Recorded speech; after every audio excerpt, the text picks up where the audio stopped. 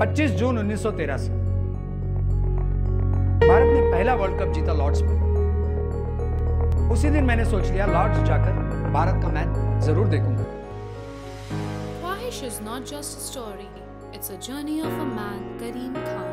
We are a team of passionate and hardworking students from AISFM Hyderabad. Hi friends, this is Pushkar here.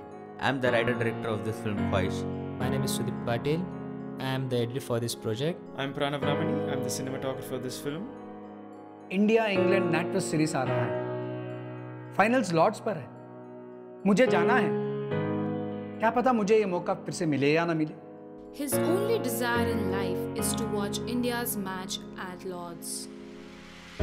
But at the age of 70, is it too late to make his dream a reality? This is not just a graduation project, it's a story about human emotions, about love, pain, happiness, and a passion that we all share. We need your help.